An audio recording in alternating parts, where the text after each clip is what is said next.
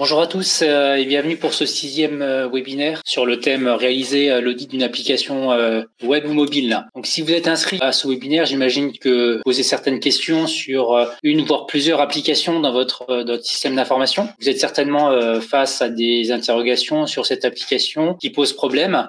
que faire Faut-il la remplacer par une nouvelle application La faire évoluer Mais, mais comment? Vous êtes certainement en présence d'une application dite obsolète ou elle va bientôt le devenir. Réaliser un audit va vous permettre, euh, je l'espère, de pouvoir euh, vous donner des éléments précis euh, qui pourront guider vos choix futurs et ainsi répondre à ces questions. Donc ce, ce webinaire est le sixième d'une série de sept rendez-vous. Je suis Anthony Zanetti, directeur technique et cofondateur de la société Axiocode à Metz, située dans le nord-est de la France, et je serai votre hôte et animerai cette série de, de webinaires. Donc cette webinaire, comme cette étape pour réaliser un audit, nous, nous avons déjà vu les cinq premières étape, pardon, euh, comment analyser la complétude fonctionnelle, comment réaliser l'inventaire euh, technologique, comment dresser l'état des, ressources humaines affectées à l'application, comment évaluer le degré d'obsolescence euh, des technologies utilisées, comment analyser le code source, calculer la dette technique et lister euh, les failles de, sécurité. Donc nous allons euh, voir aujourd'hui comment évaluer la couverture des tests, la documentation technique du processus de développement et de déploiement. Puis nous verrons ensemble la dernière étape dans le prochain webinaire, comment estimer la valeur financière de l'application, des délais et des coûts de remplacement, de mise à niveau ou isolement selon les choix suite à l'audit que vous pouvez réaliser. Donc l'objectif à, à, l'issue de cette étape est de pouvoir connaître les principes généraux d'audit euh, des tests, de la documentation technique, du processus de développement et de déploiement. Alors, pour commencer sur comment sont gérés les tests, alors il y a déjà, euh, pour rappel peut-être, il y a deux grandes familles euh, de tests. Les tests dits fonctionnels, aussi appelés tests d'acceptance, qui sont écrits du point de vue de l'utilisateur. Il s'assure que le système fonctionne comme les utilisateurs s'y attendent. De l'autre côté, on a les tests unitaires qui sont écrits du point de vue, cette fois-ci, des développeurs. Ils sont faits pour euh, s'assurer qu'une méthode particulière, une fonction, une, donc une unité d'une classe effectue un ensemble de tâches spécifiques correctement. Donc dans le cadre de l'audit, la vérification de la bonne gestion des tests sera différentes selon la famille de tests. Pour les tests euh, fonctionnels, il faudra vérifier le plan de test, l'existence du plan de test. On y reviendra après. Alors que pour les tests unitaires, c'est l'analyse du code source qui va vous renseigner. Donc analyse du code source. On a eu un, webinaire à ce sujet déjà pour donner quelques euh, pistes sur comment auditer euh, du code source. voilà, deux familles de tests différentes et des moyens de vérifier différents aussi. Donc du point de vue des tests fonctionnels du plan de test. Donc pour rappel, un plan de test, c'est l'ensemble des cas de test euh, possible et un cas de test, c'est une séquence d'actions et de résultats attendus. Pendant l'audit, vous allez vérifier les éléments suivants. Est-ce que chaque fonctionnalité, on peut aussi appeler exigence, est couverte par au moins un cas de test? Est-ce que les cas de test sont correctement décrits? On va essayer de juger la qualité des cas de test. Est-ce que des jeux de données de test sont prévus et cohérents? Parce que bien entendu, lorsqu'on a des cas de test pour les exécuter, il faut avoir euh, souvent des données aussi de tests. vous allez juger euh, de la véracité de ces jeux de données. Est-ce qu'ils sont cohérents? Est-ce qu'ils existent, bien entendu? Quand les campagnes de tests sont effectuées À la demande, à chaque mise à jour de l'application, uniquement lors des mises à jour importantes. Donc, il va falloir vérifier aussi la récurrence de ces campagnes de tests. Par qui sont effectués les tests? Les développeurs uniquement, des utilisateurs identifiés, donc à vous de juger aussi ce critère. Enfin, est-ce que certains tests, notamment les plus récurrents ou fastidieux, sont automatisés? Important aussi de pouvoir vérifier ça, l'automatisation des tests. Si des outils sont en place pour exécuter automatiquement des tests fonctionnels euh, qui permettent d'aller plus vite, bien entendu, dans les tests. Vis-à-vis des tests unitaires, alors pour rappel, hein, c'est l'analyse du code source qui pourra vous renseigner sur la présence des tests unitaires. Pendant l'audit, nous allons vérifier les principes aux éléments suivants. Quel est le taux de couverture des tests unitaires par rapport donc euh, au code source que vous avez euh, analysé Là aussi, les outils d'analyse de code source peuvent vous aider à calculer ce taux de couverture. Quel est le framework de tests euh, unitaires utilisé Est-ce que de la même manière que pour les tests fonctionnels, est-ce qu'il y a bien un jeu de données de test, des jeux de données qui sont prévus et aussi cohérents? Comment se passent justement les tests unitaires lorsqu'il y a des bases de données? Est-ce qu'on peut simuler des données? Voilà, ce genre, toutes ces questions, il faudra se les poser pendant l'audit. Et enfin, de la même manière que les tests fonctionnels, à quel moment les tests unitaires sont-ils exécutés? Est-ce qu'ils sont exécutés lors d'une intégration continue? Est-ce qu'ils sont exécutés manuellement par les développeurs. Voilà, donc ça, c'est toutes ces questions qu'il faut répondre sur la partie test unitaire. Sur le volet de la documentation technique, la documentation technique est fondamentale pour le bon maintien d'applications à auditer. Fort à parier que si votre application est obsolète ou montre de forts signes d'obsolescence, une documentation technique n'est certainement plus à jour. Donc il est important de vérifier que les documents, la documentation technique, pardon, inclut bien l'architecture euh, logicielle euh, détaillée, qu'elle est aussi bien entendu euh, à jour, que cette documentation dispose de différents diagrammes, par exemple si c'est des diagrammes UML avec par exemple les classes utilisées par l'application. S'il y a une base de données, que le schéma de la base de données bien présent dans cette documentation, bien sûr avec les explications qui vont bien sûr les différentes tables, les différents champs, les relations entre les, différents éléments. S'il y a des, des, API ou des web services, que ce soit dans l'application ou des services tiers, bien entendu qu'ils soient décrits, correctement décrits avec les routes décrites, les paramètres en entrée, les paramètres des réponses envoyées par les différentes API, les composants techniques, on a déjà vu dans les webinaires précédents euh, comment lister ces composants techniques, bah, qu'ils soient aussi documentés euh, le plus possible. Vérifier aussi euh, le circuit de rédaction, de relecture et de validation de document technique et bien entendu qu'elle est maintenue dans le temps. donc quand je parle de circuit, c'est voilà qui rédige, qui valide cette documentation. Est-ce qu'il y a un process qui est en place? Sur le processus de développement et de déploiement, donc les éléments à auditer euh, voilà, est-ce qu'il existe une méthodologie et laquelle que l'équipe de développement suit? Euh, Est-ce que c'est une méthode classique? Est-ce que c'est une méthode agile? Quelle est cette méthodologie? Euh, Est-ce que euh, la pratique importante, bien entendu, de la revue de code est en place? Est-ce qu'elle est systématique à chaque changement, à chaque fusion de code? Est-ce qu'il y a une revue de code? De quelle manière elle est en place? Et essayer de juger aussi si elle existe,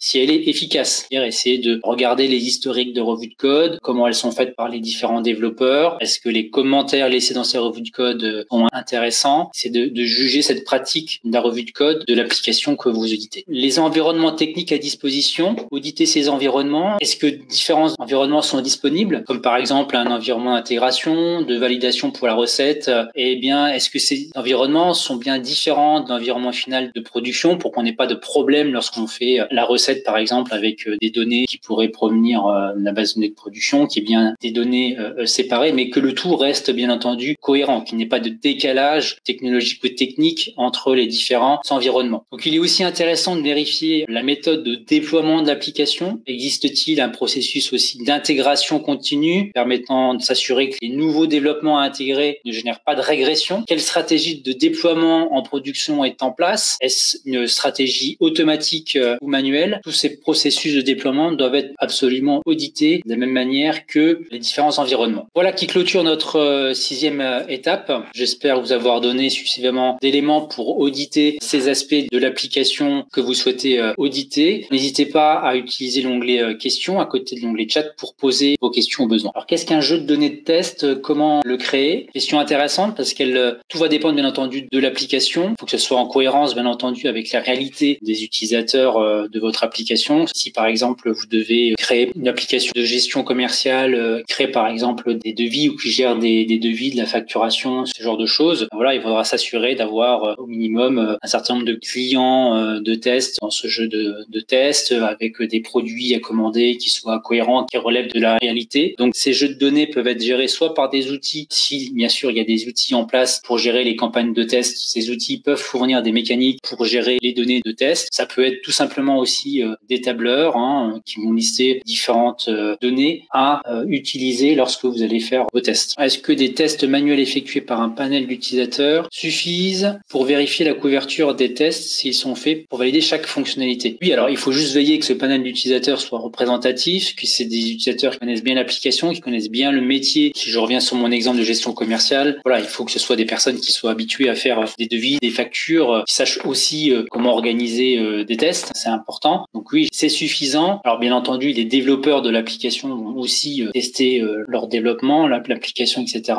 Bien entendu, il faut un panel d'utilisateurs euh, disponible et formé à l'application pour réaliser de bons tests. Bien entendu, on parle de tests manuels. Je disais que pendant l'audit, il faut vérifier si les tests fonctionnels existent, si l'automatisation de tests fonctionnels existe aussi avec des outils type par exemple Cypress pour les applications web. Voilà, ça, ça permet de faire certains tests fonctionnels un peu fastidieux, rébarbatifs, de façon automatisée Euh, voilà, donc c'est les développeurs qui vont écrire ce genre de test, mais ça reste du test fonctionnel, pas du test unique. Ça va pouvoir aider aussi aux utilisateurs à se concentrer sur les tests un peu plus compliqués qui ne peuvent pas être automatisés. Question est-ce qu'à cette, à cette étape-là, il y a une grille d'évaluation comme pour l'obsolescence des technologies? Alors, on va certainement fournir à la fin des webinars en bonus différentes grilles, effectivement, avec euh, les différents éléments à auditer. La grille, en termes de notation, on peut se poser la question est-ce qu'il y a des éléments qui sont plus importants que d'autres dans cette grille euh, Je dirais que là, quasiment tous les éléments sont au même niveau si on veut euh, avoir tous ces éléments qui soient OK. Il n'y a pas forcément des choses qui sont plus importantes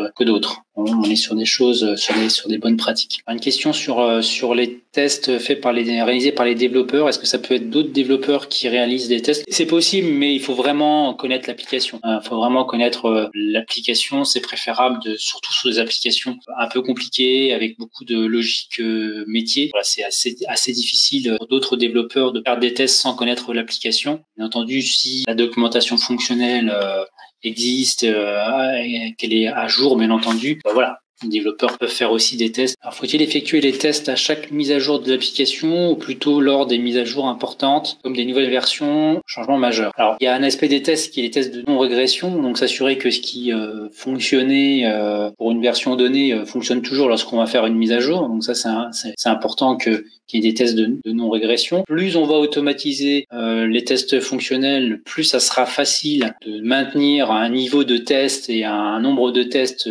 suffisant à, à chaque mise à jour parce que justement on va pouvoir automatiser les choses vont se faire par des robots plutôt que par des humains. Mais il y a quand même euh, un plan de test, je dirais, euh, minimal à, faire tourner. Quoi qu'il arrive, à chaque version, sur vos fonctionnalités clés, il faut quand même aller retester qu'il n'y ait pas de régression sur ces fonctionnalités clés. Ça, ça me semble euh, important. Les tests unitaires, s'il y a des tests unitaires, on tester aussi certains, certaines choses importantes qui doivent toujours fonctionner, en sachant que, bah voilà, un test fonctionnel va traverser une série de fonctions et de codes, je dirais, de votre application, et chaque unité traversée par ce test fonctionnel peut être aussi voilà, testé unitairement et c'est ça aussi euh, qui est important à voir. Donc s'il y a des choses automatiques en place, plus cette chose automatique, que ce soit les tests fonctionnels ou les tests unitaires, plus les tests euh, pourront être exhaustifs et réalisés euh, automatiquement. Ça sera donc plus facile de tester à chaque mise à jour parce que ben voilà, on va toujours beaucoup plus vite quand c'est automatisé, quand c'est des robots qui exécutent les tests que quand c'est forcément une, personne euh, humaine, physique qui, qui organise les tests. Alors pour un développement de type agile, les retours d'expérience, tests clients lors des livrables qui sont effectués au fil de l'eau font-ils partie de ce qui doit être couvert par l'audit? Dans le premier euh, webinaire, on abordait un aspect qui était la gestion des demandes de changement aussi sur les euh, fonctionnalités, qui permettait aussi un peu de mesurer à travers cet audit-là des demandes.